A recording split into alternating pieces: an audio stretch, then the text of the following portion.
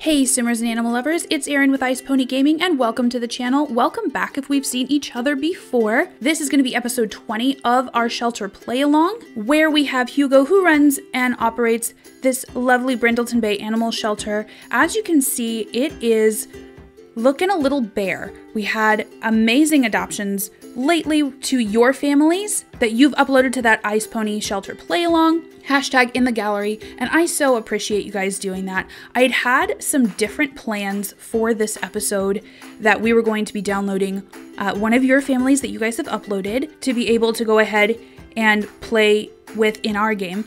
But the gallery is being super weird today, and it just kind of won't let me get into it. So we have other plans. Today we're going to be upgrading our stray shack. We're probably going to be getting a little bit of um, maybe a storage shed kind of thing for some of the shelter supplies. And then we are going to be filling these kennels. I'm so excited already. So we're going to go ahead, pause this, and pop into build mode while Hugo is giving some love to Anfonio we have got to get this boy a home.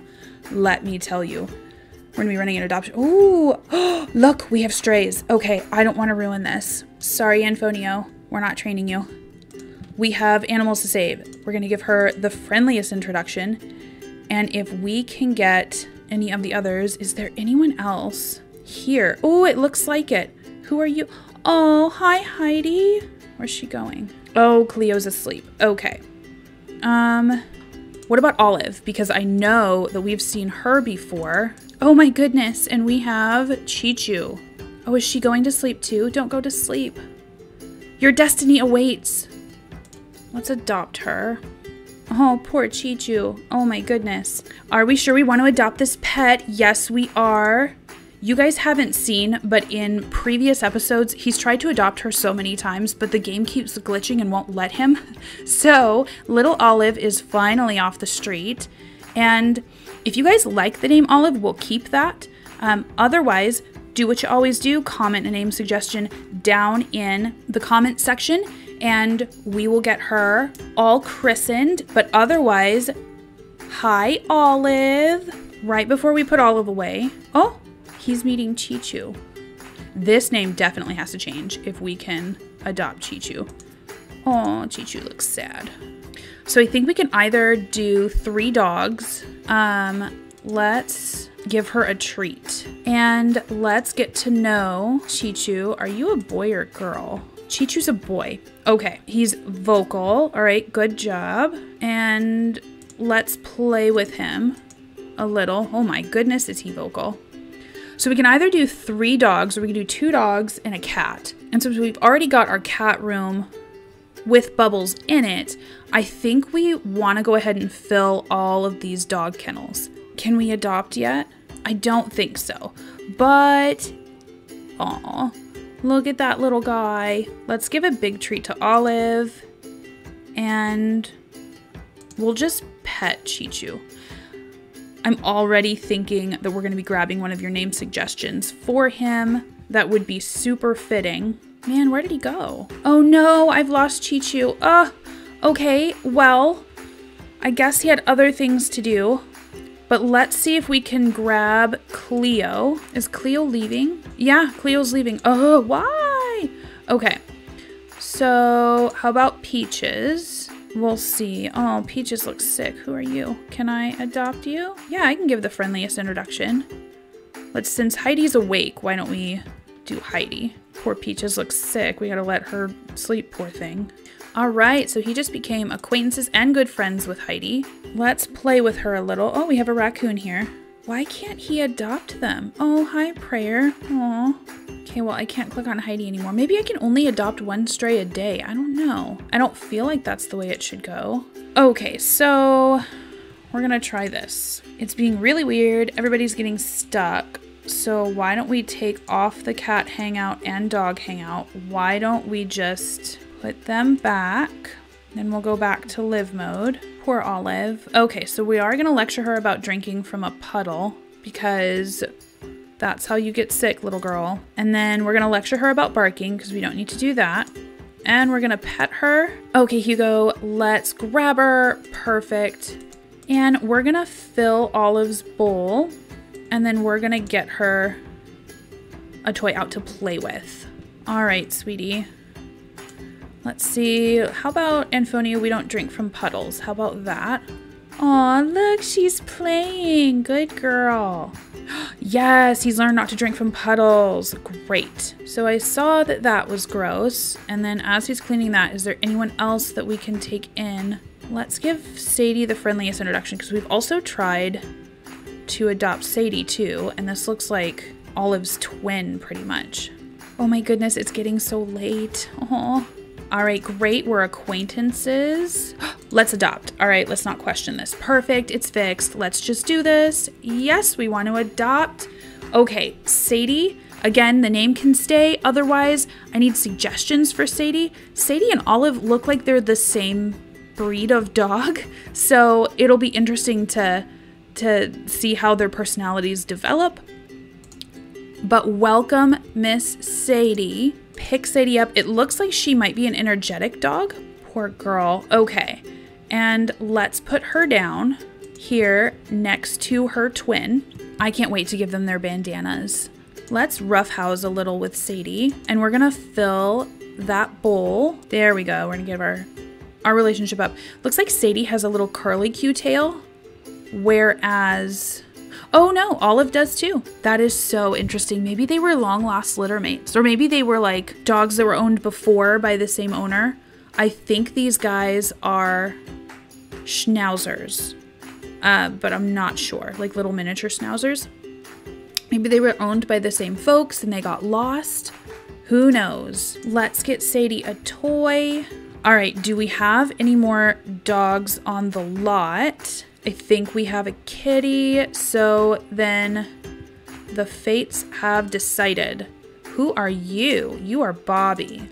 Let's give Bobby a friendly introduction. Poor Bobby needs to be seen. I hope we can adopt Bobby in. Oh gosh, this is gonna be a lot of work, you guys. Olive already has to use the bathroom, and we're not there to tell her to do it outside, but just became acquaintances with Bobby. Let's comfort Bobby because they're sick and let's pet Bobby. Please let me adopt. We want to help you. He just became friends. No, don't don't say bye. Don't say bye. No. Let's ask Bobby what the matter is. He's sick and should probably see a vet. I want to help. I want to help. I want to help. Unfortunately, I think it's glitching again. Let's go in and reset it. Perfect. Request a song from Bobby. Oh, man. Okay, I wish I knew what was doing that. Maybe... Okay, there's Cleo. Unfortunately, we cannot adopt Bobby for some reason, but hopefully we can get to Cleo. Yes! Oh my gosh, we can adopt Cleo. We will worry about Cleo's traits later. Taking care of a new pet's a big responsibility. Do we want to adopt Cleo? Yes, we do. Oh no, this is Mango. Whoops. So, hi Mango. I actually don't think Mango's a terrible name for this dog um, because of the coloring. But if you guys like mango, we'll keep mango. If not, there are definitely some names that we could name them. Oh, thank goodness. Gosh. Well, that took like literally all day. But we have three dogs off the streets. He is so hungry. Let's take a look. Is Cleo a male or female? Cleo's a female. Okay, perfect. So let's let's leash Cleo. So all of our dogs are female that we adopted in today. I think it's a little late to be, let's go here and let's pop this in our inventory, give Cleo a little bit more space. I think it's a little bit late to be fixing everybody. So we're just gonna let them be. And let's see, one, two, three. Oh, we're a full kennel again. Okay, perfect. Alrighty, so we are doing what a shelter should be doing. Can we get to know her? I just want to make sure. Okay, so it looks like she's a curious dog. She's a hunter, which is great. I mean, she's in a Biesenhound, and she's probably friendly. So I think she'd be okay for Anfonio, but I don't know. He needs more of a slow introduction. So we're just going to keep this fence up between them for the night. And let's see. Oh my goodness. There's Sadie going nuts. Let's have him clean these litter pans and then he's gonna go home and say hello to our foster babies. Look at these good guys. So we have Oxford, who is a sim self of a real life cat available for adoption at Best Friends Animal Society in Salt Lake City, Utah. He is our newest foster, and we will be playing along with him until he is adopted in real life. And then we have Tito, who I think is, yeah, let's clean this, who is coming outside to bark. I think he's trying to greet Hugo. We'll give Tito special smooches when we come in. We'll hug our English gentleman Oxford. And then now that he's said hi to everybody, I'm gonna do some playing off screen a little bit to get it ready for the next day. And I will see y'all in the morning. All right, guys. So it is morning time. He's gonna give Hugh, I'm sorry, he's gonna give Tito some special smooches. We don't need to clean the litter pan, which is great. And we're gonna feel the love from Tito. Let's play with our cat wand with Oxford. And Tito is a sim self of an animal that is also available for adoption through Dubois County Humane Society. Uh, he's been with us for a little while, so we will also be playing with him for as long as he is still available for adoption. Gosh, Oxford is so cute. Oh my goodness. And so far, he's been a really well behaved cat. Like, he hasn't really been up on any of the surfaces or furniture. Not that I've seen, at least. He's been, Hugo's been really busy. And today is going to be another busy day for him. We're going to get everybody fixed. All right, cool beans. So, I think first things first, the lighting is pretty good. So, we're going to go into build mode, get more of a top down view. We're going to take away this privacy fence. That'll give us a little bit more money to work with. It'll allow currently Mango and Anfonio to be able to socialize a little bit. Litter pans are clean. Awesome. We're to move those off to the side. And I feel like there was a toy, yes, in here. And we're to move the feeder. And then this can all move. Yeah, we're to move that here. And we're to grab our roof and pop it back on here. I think we are also going to give this a door. And I was thinking about it. This has more of like house vibes to it, I think. I am thinking that for something like this, for a shed, they would have probably had some like corrugated metal, like one of those prefab buildings. So I think we are going to be doing that. Eco lifestyle. Perfect. All right, that is definitely more shed-like. Maybe we'll have a white door. Boop. All right, wonderful. Let's also give it some windows, something nice for the cats and dogs and all of that to be able to look out and survey in. I think that's about perfect. Are those even? I don't know if those are even. No, they're not. I think they are now. And they don't use them like this, like these little windowsills, but I like to imagine at least that the cats would be like up and sitting in the windowsill. Let's grab our bed. And I was thinking about this too. What if we got them a little bit more of a shed roof? I like the idea of it being more covered. Because some animals are shyer than others. They may not be comfortable going all the way in a an enclosed building, especially so close to others, but they may be more trusting of something that's more open outside where they can see escape routes. And we just want it to help them. Perfect. Um, I think we can't really see this in the snow because it snowed overnight, but why don't we do a solar shingle roof? It's free and it's much more eco-friendly, which I feel like vibes really well with a shelter message. All right, so there's what we're working with so far. Is there a doorway? There is a doorway. Let's get rid of that. Great, let's try to center this. All right, so here's our little shed for them. Let's go ahead and bring over, we're gonna have an outdoor litter pan and something to play with away from the litter pan because that's gross. We're gonna have food and how about an indoor litter pan?